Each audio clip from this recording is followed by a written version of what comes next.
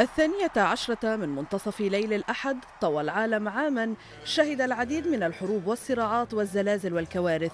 وباحتفالات ضخمة ووسط حال من الفرح احتفل بحلول العام 2024 في نيويورك احتشد آلاف الأشخاص لحضور إنزال كرة البلور في ساحة تايمز سكوير بأنوارها الشهيرة. وقد قامت الشرطة التي انتشرت بقوة وسط منهاتن بإزالة سيارات مشبوهة ونصبت حاجزا حديديا للتدقيق بالجموع مع تركيز على المتظاهرين المؤيدين للفلسطينيين.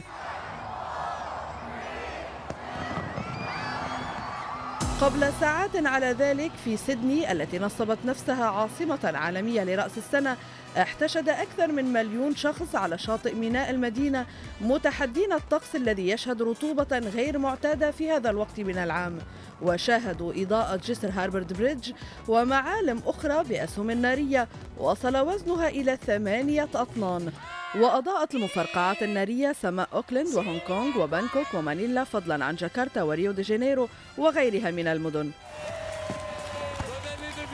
هذا وتجمع أكثر من مليون شخص في جادة شانزليزيه في باريس وبلغت الاحتفالات ذروتها عند منتصف الليل مع عرض ألعاب نارية أطلقت من قوس النصر في الجادة الشهيرة.